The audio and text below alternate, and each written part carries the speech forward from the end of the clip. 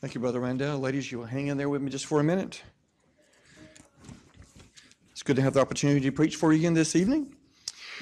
And uh, this is not the sermon that I had intended to preach tonight. I was working on this for another date.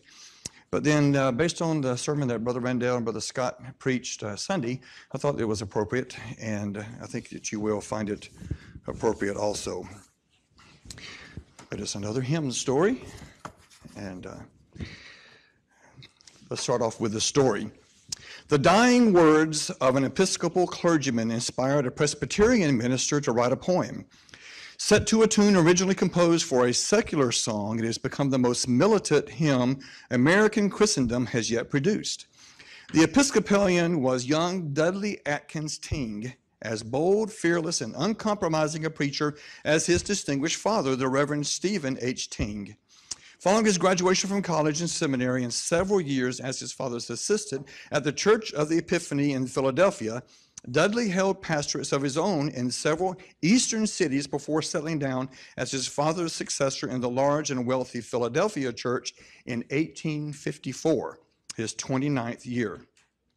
Although success as an author as well as a preacher soon followed, Dudley Tyng was not the kind of minister who pulled his punches. As the anti slavery sentiment grew, he expressed his convictions about the matter from the pulpit. Consequently, before his second year was up, there were loud rumblings from the more conservative members of the congregation. Outspoken critics were demanding his removal. At the suggestion of some of the younger progressive leaders, Tyng resigned from the Church of the Epiphany as of November the 4th, 1856. With a group of faithful followers, he organized the Church of the Covenant, securing a hall on Filbert Street as a meeting place. Meanwhile, he moved with his family to a country home, a mansion house in the Brookfield section of Montgomery County. In addition to his duties as pastor of a new growing congregation, Tyng began noonday lectures at the YMCA. As his fame grew, larger and larger crowds waited upon his sermons and addresses. His boldness only increased his popularity and effectiveness. On Tuesday, March the 30th, 1858, over 5,000 men gathered in Jayne's Hall, then at 621 Chestnut Street, for a mass meeting sponsored by the Y. Tyng preached from Exodus 10:11, which says, "Go now, ye that are men, and serve the Lord." Over 1,000 of the men were converted. The sermon was called one of the most successful of the times. The entire city was being aroused. A religious awakening was gaining force. Now, during the sermon, the preacher said, I must tell my master's errand, and I would rather that this right arm were amputated at the trunk than that I should come short of my duty to you in delivering God's message. The next week, he returned to his family in the country. On Tuesday, April the 13th, 1858, he was witnessing the operation of a corn thrasher in his barn. Raising his arm to place his hand on the head of a mule which was walking up the inclined plane of the machine, the loose sleeve of his morning gown was caught between the cogs. The arm was lacerated severely and the main artery severed and the median nerve injured. Four days later, mortification having set in, his right arm was amputated, very close to the shoulder Anxiety prevailed for his life, but two days later, the shock to his system proved fatal. So I'd like to have the ladies play a verse in the course of this song.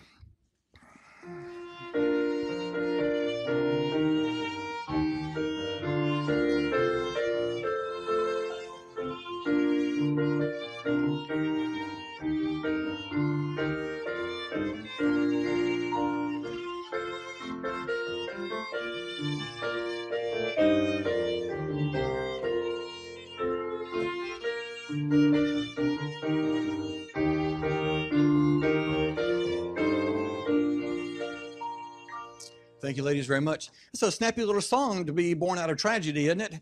it just seems like all of these great hymns have a tragic element to them, uh, which, which I guess that's the way the Lord spoke to these people that wrote these songs. Now, continuing on with the story, the newspapers gave a detailed account of young Dudley Tyng's passing, including his request to his faithful wife that she use her influence to bring their boys up in the ministry. The reporter wrote, taking his aged father's hand, he said with much earnestness, Stand up for Jesus, Father, stand up for Jesus. and tell my brethren of the ministry, wherever you meet them, to stand up for Jesus. Thus he died on Monday between 1 and 2 o'clock, surrounded by his family, with his intellect unclouded and his faith in the happy change that was awaiting him, bright and clear and earnest. The Reverend George Duffield Jr., then pastor of the Temple Presbyterian Church, Philadelphia, heard the account of his friend's passing at a memorial service at Jayne's Hall. He said, Tyng was one of the noblest, bravest, and manliest men I have ever met. The following Sunday morning, he preached to his people from Ephesians 6:14. Stand therefore, having your loins girt about with truth. For his conclusion, he read an original poem of six stanzas, which he explained had been inspired by the dying words of his co-worker. The poem began, Stand up, stand up for Jesus, ye soldiers of the cross. Lift high his royal banner, it must not suffer loss. From victory unto victory, his army shall he lead, till every foe is vanquished, and Christ is Lord indeed. At this time, if you would stand with me and open your Bible and turn to 1 Corinthians, 1 Corinthians chapter 15, verse 25. Let's all stand together for the reading of God's word. 1 Corinthians 15 and verse 25. 1 Corinthians 15 and verse 25 says, For he must reign till he hath put all enemies under his feet. For he must reign till he hath put all enemies under his feet. The title of my sermon this evening is Stand Up, Stand Up for Jesus. Let's pray. Dear Lord, I pray that you'll be with us this evening as we study your word and that we'll be encouraged, Lord, to stand up for you. And in the face of the enemy that seems to be all around us, that we will stand up and be accounted for, and that we will not uh, run away, that we will not hide, but we will stand up. Stand up for you. We ask these things in your precious name. Amen. Now, we won't turn there this evening, but um, this opening verse, the context of that is the 1,000 year reign Paul's talking about here, that we often refer to as the millennium, or the millennial reign, and that's referenced in Revelation chapter 20, verses 1 through 6. After the millennial reign, there will be a final rebellion led by Satan himself. And that's also recorded in Revelation 27 through 10, in which Jesus will crush and finally and forever put all his enemies under his feet. However, in the meantime, Christians are to stand up and fight against Satan, and all of his demons, and there seems to be plenty of those to fight against these days. My sermon this evening has four points, and the first one is this Stand up and bear Christ's banner. Now, in Civil War times, uh, no duty was more honorable or more dangerous than that of the color or flag bearer. As you can imagine, that was a pretty dangerous job because the flag bearer had to lead his regiment, his part of the army, into the battle.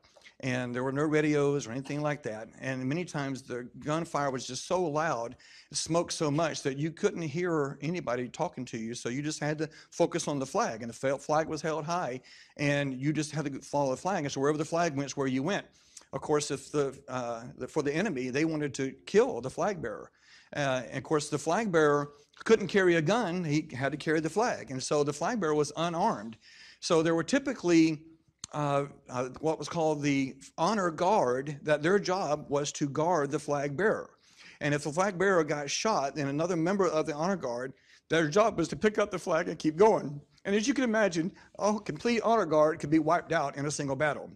All right, so uh, that's, that's a pretty tough job as far as that goes. But nothing was more important than being the color bearer and, and waving that banner for the army. Now, the first verse of the hymn goes like this Stand up, stand up for Jesus, ye shoulders of the cross. Lift high his royal banner, it must not suffer loss. By the way, it's on page 502 in the hymn if you want to follow along. We're going to look at all the verses. Uh, from victory unto victory, his army shall he lead till every foe is vanquished, and Christ is Lord indeed. Well, what exactly is Jesus' royal banner as mentioned in that hymn, in that first verse of that hymn? What is Jesus' royal banner? Well, perhaps another song comes to mind. His banner over me is love. Exactly right. Turn to Song of Solomon, chapter 2 and verse 4. Song of Solomon, chapter 2 and verse 4.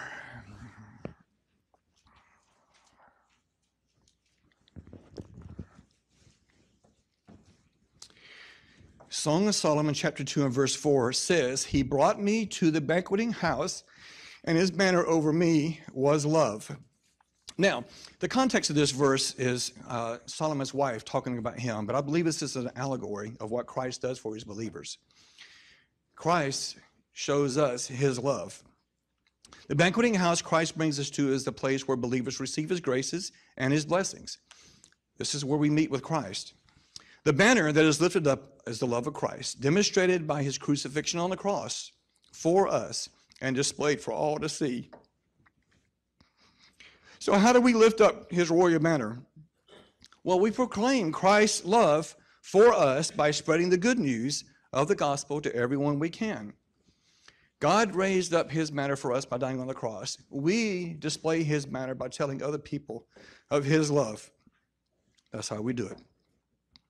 The first point was just that stand up and bear Christ's banner. The second point is this stand up and attack the enemy. Stand up and attack the enemy. Now, my second illustration also involves a civil war. Civil war. I'm not sure why, but I love the Civil War. Uh, I don't know anybody that fought in the Civil War. We lost, we, the South, lost the Civil War. So I should have a grudge about the Civil War, but I don't. I don't take it personally that we lost. But I like Civil War history, and I like especially Gettysburg. Maybe I like Gettysburg more because I've been there a couple of times. When we were stationed in D.C., we had a chance of going there. And then uh, every other year, we go over to Lancaster, Pennsylvania, which is right near Gettysburg. And one of the times over there, we had a chance to go when the kids are a little bit older, and it's just a, a cool place. Anybody ever been to Gettysburg? Anybody else ever been to Gettysburg? It's, it's a really cool place. You've already had a chance to go. And if you like history, man, that's the place to go. Uh, that's really cool. All right.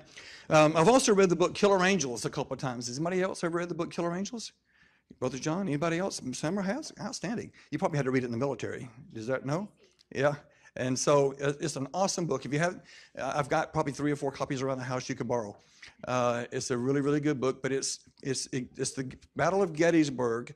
Uh, that was made into a movie, Gettysburg. So if you've seen Ted Turner's movie Gettysburg, it's a four-hour-long movie, kind of long, but I've probably seen it I don't know, a dozen times. Uh, so it's a really good movie. But it talks about Gettysburg, seen from both sides of the view. But in that movie, uh, there's a scene uh, uh on the second day of battle where Colonel Joshua Chamberlain uh, from a Maine regiment is on the far, would be the Union's left flank, the far left flank.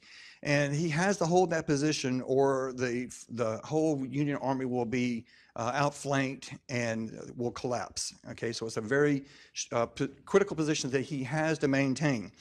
Well, through the fight, um, uh, uh, Southern soldiers from Alabama, Mississippi, and Georgia, they're all fighting up, up Little Round Top to try to overcome that position. And Chamberlain and his men keep fighting on back and keep fighting on back till finally they're out of ammunition. They, they don't have any bullets left to fight with. More than half of the men have been killed. And it seems like the next time the uh, South attacks, they're going to overrun that position. And it seems surely that's what's going to what's going to happen. Well, Chamberlain, realizing how important it was to hold the position, decides to attack. So he orders all of his men to fix bayonets, and then they charge downhill with no bullets and they drive the South off the mountain, and through that, they win a major victory, probably determine the outcome of the war by doing that. But the point to make there is that he didn't sit there and do nothing. Okay, he knew the enemy was out there and he attacked the enemy. He went on the offensive. And so the second verse goes like this Stand up, stand up for Jesus, the trumpet call, obey. Forth to the mighty conflict, and this is glorious day. Ye that are men, now serve him against unnumbered foes. Let courage rise with danger, and strength to strength oppose. Now, God gives us the power to conquer Satan. We, he's already beaten. He just doesn't know it. Maybe he does know it. He just doesn't want to give up. Turn to Luke chapter 10, verse 19. Luke chapter 10, verse 19. Luke chapter 10, verse 19. And that says, Behold, I give unto you power to tread on serpents and scorpions, and over all the power of the enemy, and nothing shall by any means hurt you. Now, this verse, in this verse, Jesus is referring back to Genesis 3:15, when God is telling Satan, and I'll, I'll just read it for you. Genesis 3:15 says, And I will put enmity between thee and the woman, and between thy seed and her seed. It shall bruise thy head, and thou shalt bruise his heel. These verses are promises of victory over the power of sin. These verses are promises of victory over all the power of the enemy. And with Christ on our side, Satan is already defeated. We just need to get in the fight because only then can we hope to win lost souls for the Lord. We can't win lost souls sitting on the sideline. We have got to get in the fight. Got to. First, first, first point was stand up and bear Christ's banner. Second point was stand up and attack the enemy. The third point is this stand up and put on your gospel armor. Now, I was hoping Dan might be here tonight, but he's not here. But how many of you have to wear body armor or ballistic vest? Did you had to wear that in your either when you were deployed? I don't know if Tony's here. Even uh, Billy, you had to. Anybody else ever had to wear any of that kind of stuff? I never had to in any of the jobs that I had. But of course, police officers have to wear it uh, all the time. All right. Well, ballistic vests have been a staple of law enforcement since a surge in police shootings in the mid to late, late 1960s. So that's a long time ago. But in the last three decades, body armor has saved the lives of more than 3,000 police officers. That's just in the United States. So it's safe to say tens of thousands of lives have been saved worldwide. Surveys show that by not wearing ballistic armor, police officers have 14 times the risk of dying of an injury. I would think that would be 100 times uh, more dying of injury, but apparently you can get shot and survive. Uh, so some people do. Uh, not a lot, I would think, but a lot of people do. Um, now, who wants to get shot without body armor? Uh, not me. You know, if, I, if I'm a policeman, I want to wear my body armor, but surprisingly, some officers prefer not to wear ballistic armor, and some departments don't require them to. Issues such as comfort, mobility, undercover operations, and cost are among the alleged concerns. Going into battle without your armor is a choice you can make, but it's not a very wise one because the chances of surviving a gunshot without a ballistic vest goes way down, and so does your effectiveness as a combatant. So the third verse goes like this Stand up, stand up for Jesus, stand in his strength alone. The arm of flesh will fail you, ye dare not trust your own. Put on the gospel armor, each piece put on with prayer where duty calls or danger, be never wanting there. Well, what exactly is the gospel armor then? What is the gospel armor and do we have access to it? Well, the Bible tells us exactly what it is, and it's in Ephesians chapter 6, starting with verse 10. Ephesians chapter 6, starting with verse 10. If you want to turn there, I'll read that for you. Ephesians chapter 6, starting with verse 10. Finally, my brethren, be strong in the Lord and in the power of his might. Put on the whole armor of God, that you may be able to stand against the wiles of the devil. For we wrestle not against flesh and blood, but against principalities, against powers, against the rulers of the darkness of this world, against spiritual wickedness in high places. Wherefore, take unto you the whole armor of God, that you may be able to withstand in the evil day, and having done all, to stand. Therefore, stand therefore, having your loins girt about with truth, and having on the breastplate of righteousness, and your feet shod with the preparation of the gospel of peace, above all, taking the shield of faith, wherewith you shall be able to quench all the fiery darts of the wicked, and take the helmet of salvation and the sword of the Spirit, which is the word of God. Now, these verses clearly tell us that the gospel of armor consists of the belt of truth, the breastplate of righteousness, shoes of the preparation of the gospel of peace, the shield of faith, the helmet of salvation, and the sword of the Spirit. Now, we have access to all of those. We have access to all of those, not through Walmart, not through Cabela's where we can get a discount, but through Jesus Christ our Lord and His Word, the Bible. Remember, Jesus is our captain, and it's Him that we follow into battle. He wants to make sure we are ready for battle by giving us the proper armor.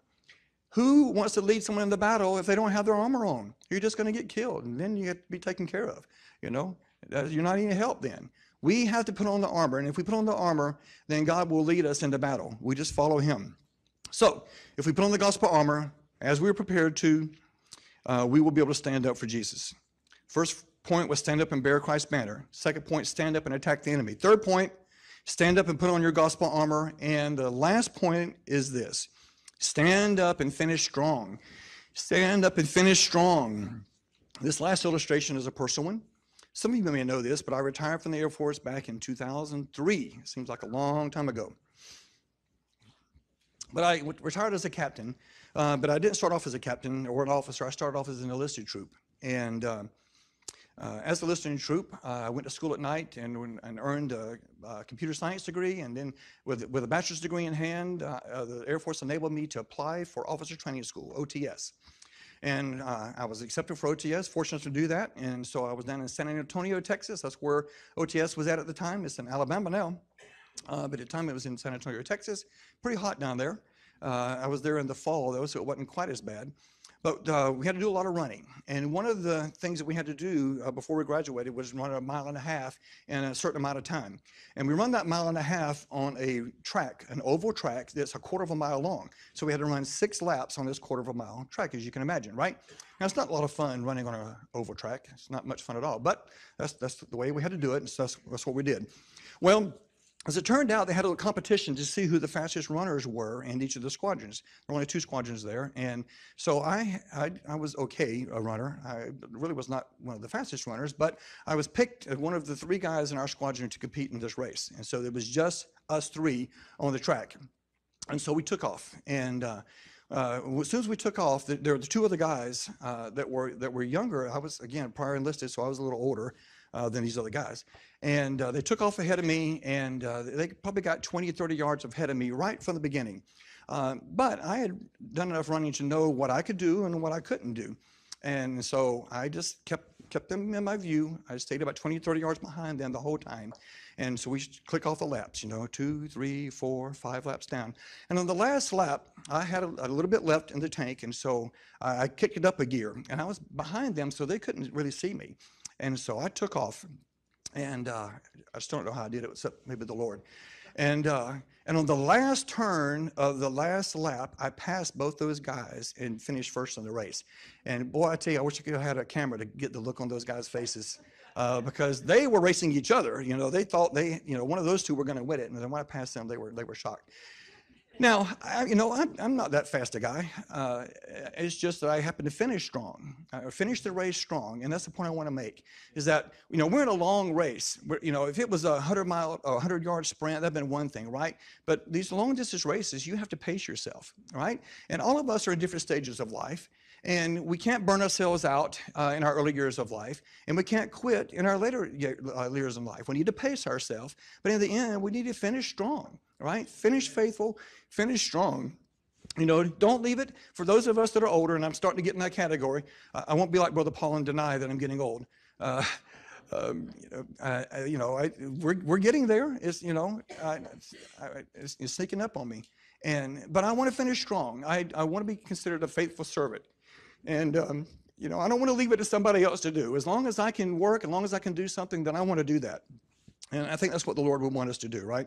The last verse says, Stand up, stand up for Jesus. The strife will not be long. This day, the noise of battle. The next, the victor's song. To him that overcometh, a crown of life shall be. He with the King of glory shall reign eternally. Now, Jesus was a finisher, and he wants us to be finishers too. If you turn to Hebrews, Hebrews chapter 12, and let's read, start with verse 1, and then we'll read through verse 2. Hebrews chapter 12. Hebrews chapter 12, and we'll start with verse 1.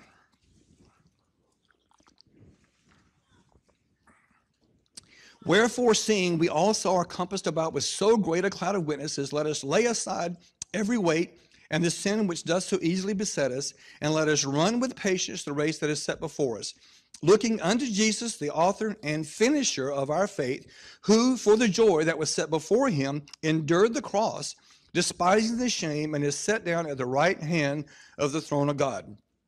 Now, Jesus finished, and there were many obstacles in front of him.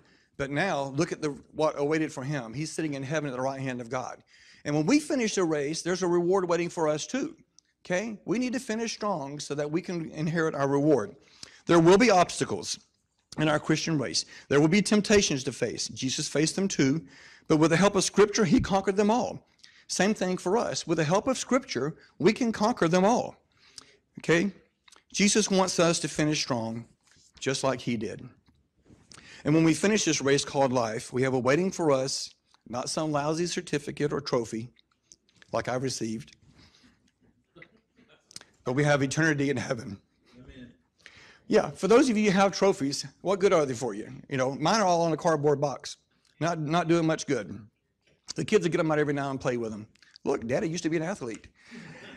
yeah, you know. Doesn't do me any good now. Doesn't do me any good now. But heaven lasts forever. Heaven lasts for eternity. Now, quickly back to the hymn. Let me finish that up. The editor of a hymnal, needing a new hymn for his book, joined these thrilling stanzas with a tune that George Webb had written for a poem called Tis Dawn the Lark is Singing for a show on board a ship somewhere in the mid Atlantic. The result is that in death, Dudley Atkins Tyng preached more widely and more successfully than he ever did while he was alive. Perhaps that is why God allowed him to suffer the fate that he did. Stand Up, Stand Up for Jesus has inspired untold millions to nobler Christian living. Now, I hope that you will have the courage to stand up, and I hope that you, you'll have the courage to stand up and bear Christ's banner. I hope you'll have the courage to stand up and attack the enemy, and I hope you have the courage to stand up and put on a gospel armor. But I really hope that you have the courage to stand up and finish strong.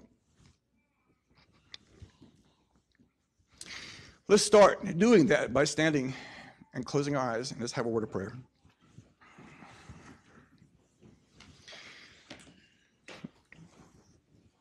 Dear Heavenly Father, we pray for your strength and we pray for your help in this time that we live in. And there's no shortage of enemies. And Lord, all the things that we see going around us now are all the doings of Satan. That's our enemy, Lord. This is all Satan's doings. And help us hope it's not to lose focus of that, Lord. It's a spiritual battle that is encompassing our country. And the way to fight the spiritual battle, Lord, is to get in the fight with you as our captain, to pray unceasingly, to rely on your word, and to keep our eyes upon you and not upon Washington, D.C. Lord, if we keep our eyes on man, they will let us down every time, and we know that. No matter how great the man, Lord, we're all still just men. And help us, Lord, to remain faithful and keep our eyes upon you, no matter what is going on around us, to remain faithful to you and keep our testimony pure, Lord, so that when someone looks at us and the times are bad and we, we could uh, do many things, Lord, that we fleshly and worldly, that we put that aside, Lord. We resist the temptation to do that. We keep our focus on you, Lord, and keep our testimony pure. But we stay in the fight, Lord, and stand up for you. Be with us this evening during this invitation time now, and I ask these things in your name. Amen. If you would, just sing this song. It's not a typical invitation song, but it's in 502 of your hymnal. 502. Stand up, stand up for Jesus of the cross. Lift high his royal banner, it must not suffer loss. From victory unto victory shall he lead till every foe is vanquished and Christ is Lord. On the second and the last, stand up, stand up for Jesus, the trumpet call obey. Forth to the mighty conflict in this his glorious day. Ye that are men now serve him against unnumbered foes. Let courage rise with danger and straight oppose. On the last, stand up, stand up for Jesus. The strife will not be long this day. The next, the victor song. To him that overcometh, a crown of life shall be. He with the King of glory shall reign eternally.